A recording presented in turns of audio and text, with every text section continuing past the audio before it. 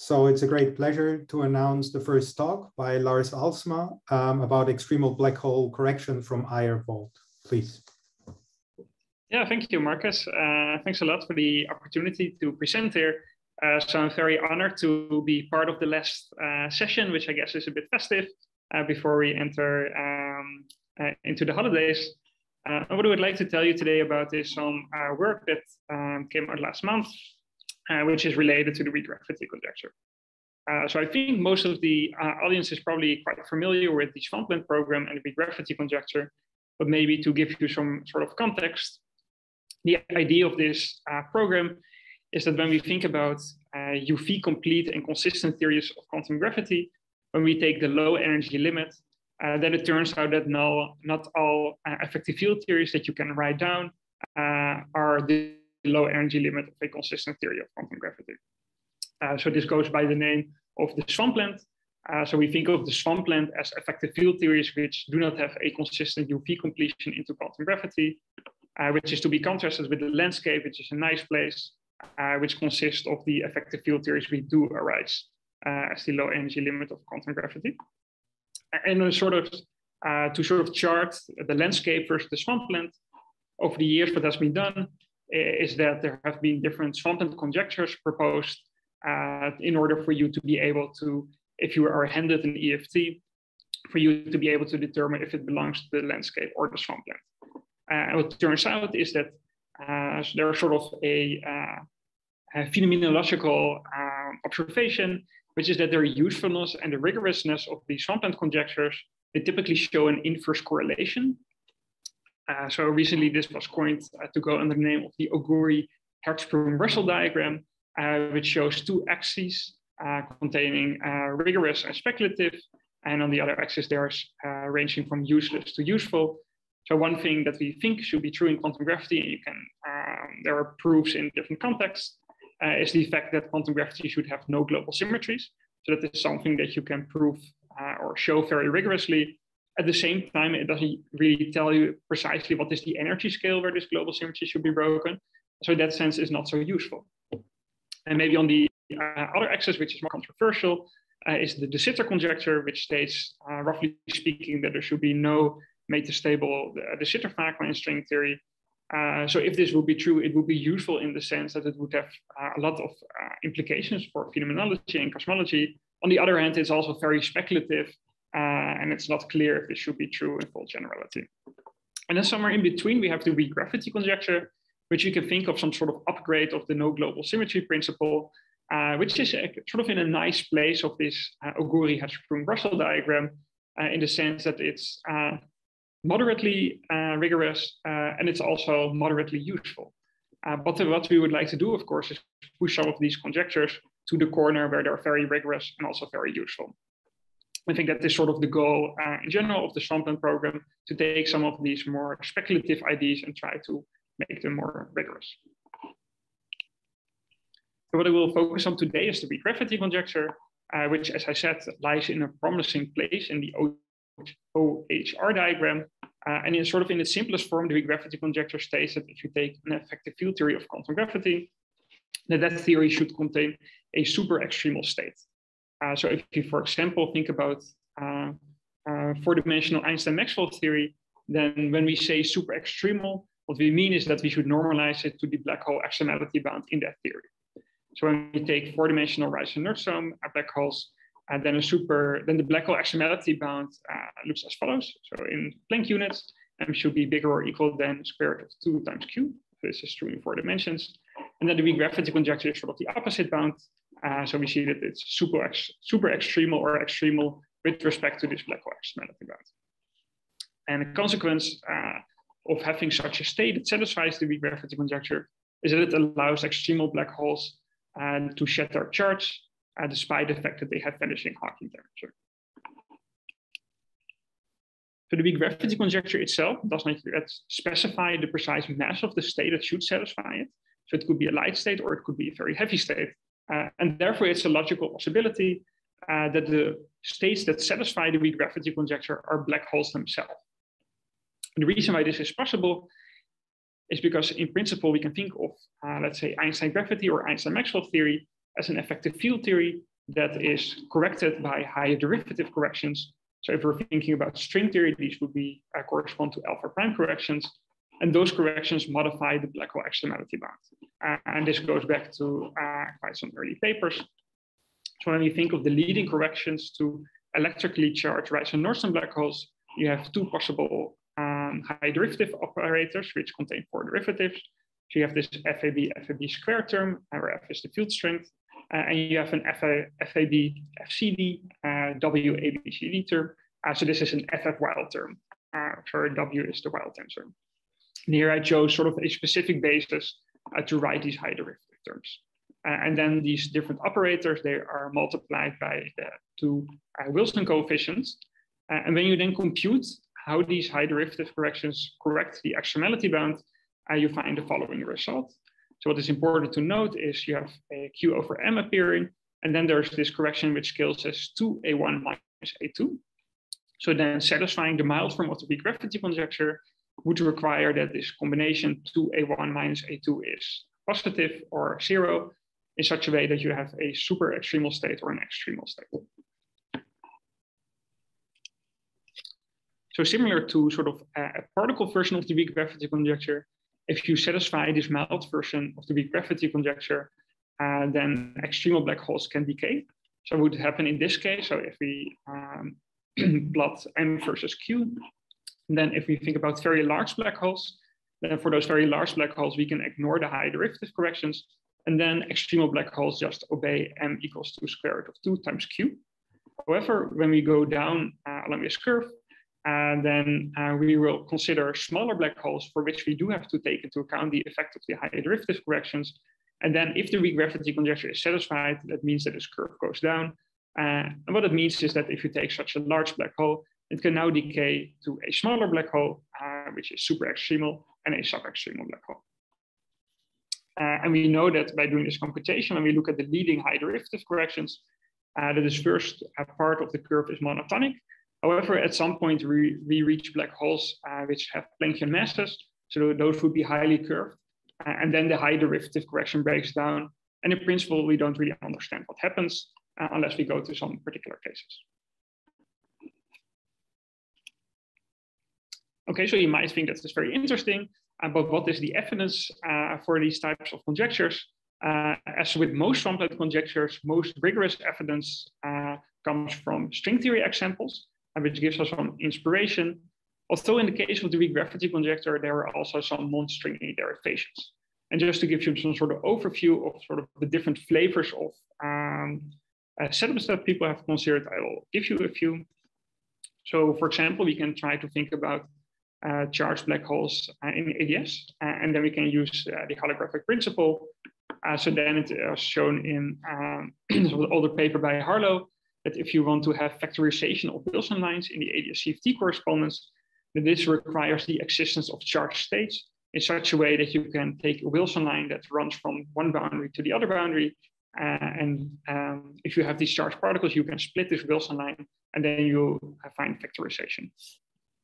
Uh, a different paper uh, by Montero showed that if you want to prevent entanglement entropy paradoxes in ADS-CFT, uh, then uh, what he considered was a black brane solution in ADS. Then you need to make sure that this black brane becomes unstable, uh, which again is very similar to the weak gravity conjecture, because that requires the existence of these charged states in order to decay. We can also think about uh, arguments based on black hole entropy. Uh, so in a paper by Cheung, Liu, and Remmen, uh, it was argued that at least in some cases, uh, when you consider these higher derivative corrections, that they should increase the microcanonical entropy of the black hole, uh, which then also leads to the weak gravity conjecture.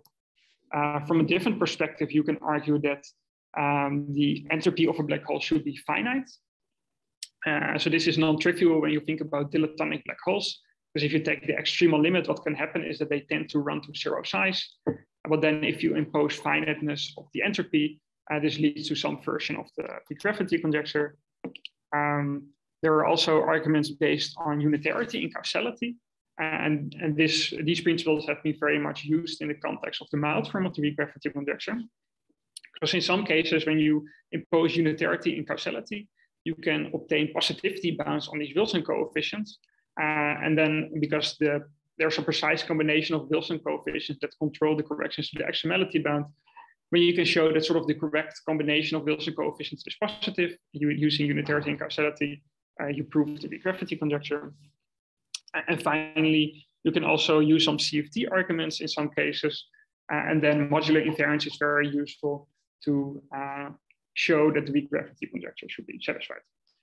Uh, so these are all very nice uh, derivations, um, and they give sort of in different corners of, um, I guess, physics, uh, they give you arguments in favor for the weak gravity conjecture. Um, so in the case when we think about positivity and the mild form of the weak gravity conjecture, then we find that again in the string theory examples that this combination of Wilson coefficient uh, that corrected the extremality bound of Reissner-Nordstrom black holes uh, turns out to be positive. Uh, so as I just argued, in some cases you can use unitarity and causality to argue that one of these coefficients is positive, uh, but there's no general model independent bound on this A2 coefficient. So you need to assume something more about the UV in order to show uh, that the gravity conjecture is satisfied. Uh, uh, so what we like to understand a bit better is instead of sort of having uh, additional assumptions about the UV, um, we would like to understand um, when the weak gravity conjecture follows from sort of a more general principle. So for example, when this FF Weyl term contributes, which uh, was proportional to the A2 term, what do we need to assume about quantum gravity in order to show the weak gravity conjecture? And this will be uh, sort of my, the discussion of the rest of the talk. And maybe I should already briefly pause for questions if there's a short question. Okay, I think not, so let me just continue. Um, so what we'd like to do, or what I would like to show you, is how we can sort of understand uh, what properties of quantum gravity uh, lead to this mild form of the weak gravity conjecture. And what I want to do is have to, uh, sort of a more model-independent formulation. Instead of sort of on a case-by-case -case basis looking at different black hole solutions, it would be very nice if there's some sort of model-independent formulation. So what I have in mind is the following. Let's say they, that I take a black hole um, in um, described by general relativity, so not yet perturbed by high derivative corrections. Then sort of schematically, I know that the, the extremality bound or that extremal black holes obey Q of M equals to one. What I now can consider is I can now add matter to this theory, which is heavy. When I integrate out that matter, I will generate high derivative corrections. And then in general, my extremality bound or my extremal black hole would have the following form. So we would have Q over one, Q over M is equal to one, plus some correction that depends on the precise matter that I integrated out. Uh, so it seems natural to impose some sort of general conditions on the matter that I integrate out in order to make sure that the weak gravity conjecture is satisfied. What I will do is I will derive a universal expression uh, that does not really specify precisely uh, the matter content, and we'll see what sort of condition I need to impose on the matter in order for the weak gravity conjecture to be satisfied. Uh, and in particular, I will focus on four-dimensional Kerr-Newman black holes. So in order to do that, I will make use of the Iyer-Wald formalism, uh, which is a very uh, useful formalism in order to uh, derive, for example, corrections to black holes in a very model independent way. And then the starting point is, is to start with some uh, Lagrangian, which I treat as a D form uh, in D dimensions, which can depend on some arbitrary set of matter fields phi. Then I can consider a general variation of my Lagrangian and then I know that I will get in, in general some term which is proportional to the equations of motion. So when E is zero, the equations of motion are satisfied. And then there's a boundary term uh, which can be written as uh, the exterior derivative of theta potential. Now, if my uh, action that I consider also has a symmetry that is generated by some vector field xi, then I can define a Noether current. And this Noether current can be written in the following way. So there's some term that uh, parameterizes the constraints of the theory. So again, when the equations of motion are satisfied, this would be zero. And then there's some term uh, which gives you the Noether charge. And then by doing some manipulations, you can relate this to the symplectic potential uh, and an inner product of the Lagrangian that you're considering. So when you perform all these variations, now what you can do is you can integrate over Cauchy surface sigma. Then I can derive the following identity. So here I see I relate um, basically the uh, variations of the Noether charges that are associated with this vector field and the symplectic potential to a variation of the constraints of the theory. So at this level, it's a very abstract relation, but now we'll apply to a black hole and then we'll see uh, precisely why this is useful. Uh, so the theory uh, under consideration will be Einstein-Maxwell theory, uh, possibly with a cosmological constant. And then when you do these explicit variations, you find that the constraints of the theory take the following form.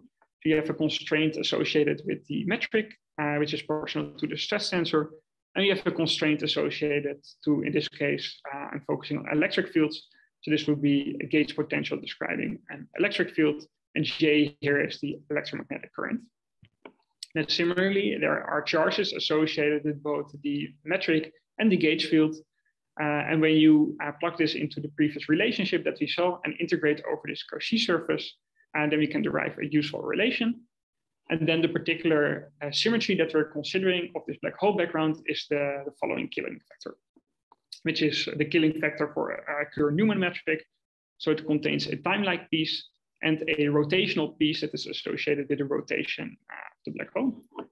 And then when you uh, plug this all in, you find the following identity. So on the left-hand side, we find that there are variations of black hole quantities, so variation of mass, angular momentum, electric charge, uh, and a variation of the area of the bifurcation surface. And I can relate that to variations of the uh, stress tensor plus an electromagnetic piece. Okay, and now uh, what will be useful is to define this right-hand side and write it in terms of a, what I call an effective stress tensor. So it's basically the stress tensor of uh, associated with the high derivative corrections plus an electromagnetic piece. And because in principle, when you consider these high derivative corrections, uh, they will also modify uh, the Maxwell equations. And then uh, what you find is when I consider zero perturbations, so I shut off possible perturbations, then I find it at extremality at temperature equal to zero, then the following identity is true. So what that means is now when I do consider perturbations, is that it's precisely this quantity that determines the corrections to the extremality bound. So for example, when I take t equal to zero, I consider extremal black holes, then I find that this uh, variation uh, of these quantities, which determine the corrections to the extremality bound, that those are related to the integral over the variation of the effective stress tensor. So in here, K was the Killing vector of the black hole, and N is the unit normal to the Cauchy surface. At the same time, I can also consider black holes that for which this variation vanishes. And then I find that the temperature times the variation of the Bekenstein-Hawking entropy is given by minus uh, the same uh, integral over the effective stress tensor. So what you then obtain uh, is you can obtain a relationship uh, for the weak gravity conjecture. Because typically when we consider the weak gravity conjecture, we typically consider these higher derivative corrections in a canonical ensemble. So that what that means is that I fix t to be zero, and I also fix uh, the charges, so in this case, the electric charge and possibly the angular momentum. And then you'll find the following relationship. So now it's the corrections to the mass that are determined by this integral over the effective stress tensor. So you find that when this right-hand side is smaller equal than zero, then the weak gravity conjecture is satisfied. At the same time, we can also consider a different thermodynamic ensemble. When we consider a microcanonical ensemble, we fix the mass, charge, and angular momentum of the black hole. In that case, we find that this integral over the effective stress tensor determines the corrections to the Bekenstein-Hawking entropy. So what this implies is a relationship between entropy and extremality uh, in the sense that when the mass of the black extremal black hole is decreased in a canonical ensemble, this implies that the entropy in your microcanonical ensemble is increased. Uh, and this relationship has appeared before in the literature. So here we gave an alternative derivation of it uh, based uh, on the Iyer-Wald formulation. Okay, uh, so now we're ready to sort of make a general statement when the corrections to the mass are decreased in a canonical ensemble. So when the weak gravity conjecture is satisfied. And then we have to remember our definition of the effective stress tensor, uh, and this effective stress tensor is related to sort of the usual stress tensor that appears on the right-hand side of Einstein equations as follows. Uh, so uh, here T denote, delta T denotes the variation of, sort of the proper stress tensor uh, that's related to the effective stress tensor plus a term that corrects, corrects this. So what it means is when the term in brackets finishes, and then the enter corrections to the entropy or extremality, they are precisely determined by the stress tensor. And then the weak gravity conjecture can be really understood as an integral over the usual stress tensor. And then it's a natural question to wonder if this could be related to an energy condition that you need to impose on the stress tensor in order for the weak gravity conjecture to be true. You have five minutes, Lars. Awesome, thanks. Um, so in general, uh, in order to understand precisely what the energy condition is that we need to consider, uh, we need to understand with what uh, factors we are contracting the stress tensor. Uh, so in the case for the Kerr Newman black hole, the uh, Killing vector uh, looks as follows, and it should be an index here. so it has a time-like component and it has a rotational component. so in principle, when omega is zero, so when we are not considering rotation, then this is a purely time-like vector. And otherwise, the character of the Killing vector is dependent on sort of the precise value of the rotation. Um, but in the case when uh, both n and k are time-like vectors, it's a necessary condition for the weak gravity, con gravity conjecture to be satisfied, is that this uh, integrand that appeared, so the contraction of the effective stress tensor with k and n uh, should be negative.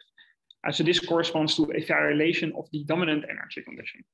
Uh, however, in general, this condition is not sufficient uh, because what can happen is that we still need to perform this integral. So it could be true that the stress tensor violates the dominant energy condition at a particular point along the Cauchy surface, but that it gets overwhelmed by other positive contributions along when we're performing the integral over the entire Cauchy surface. So a violation of the dominant energy condition uh, to prove to be gravity conjecture is only sufficient when either there's a more integrated version uh, of the energy condition that should hold, or when the dominant energy condition is violated along the entirety of the Cauchy surface. Uh, so I think uh, option one is somewhat unlikely. There are typically no general energy conditions that uh, integrated energy conditions that hold along space-like surfaces. So it seems more likely that we should consider option two, uh, but we can consider what happens in uh, specific cases. Uh, so what we can consider, for example, is to look at electrically charged black holes in ADS. And then what we're doing is we're considering uh, sort of the same high derivative corrections that we considered before. Um, then the metric uh, that we're interested in is that of a electrically charged black hole.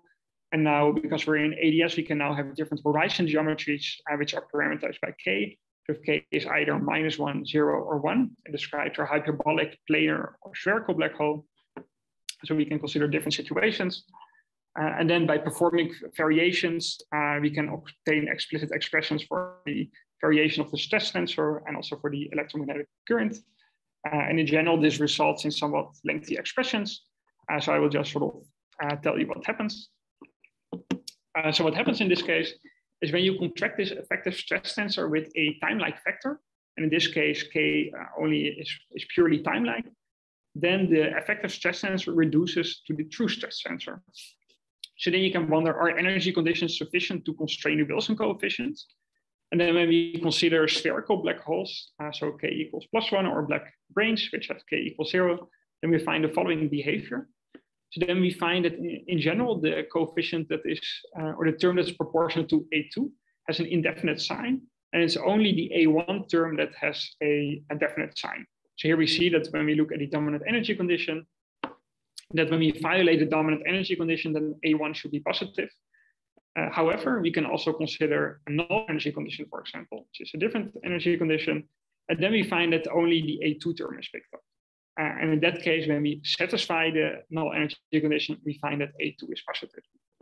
So, so in summary, a violation of the dominant energy condition seems to require that A1 should be positive, which is actually also the constraint that follows from unitarity, while the satisfaction of the null energy condition uh, seems to imply that A2 should be negative.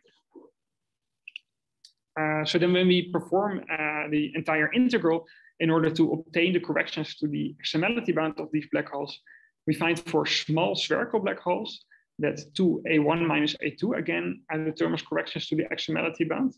Um, so um, in that case, we find it's the same extremality bound as for flat space black holes. And this makes sense because these small black holes don't really feel the ADS curvature. However, for large black holes or for black branes, we find that there's a different combination of Wilson coefficients that appears. So we see in this case that only for small black holes, uh, the violation of the dominant energy condition plus satisfaction of the null energy condition uh, leads to the weak conjecture.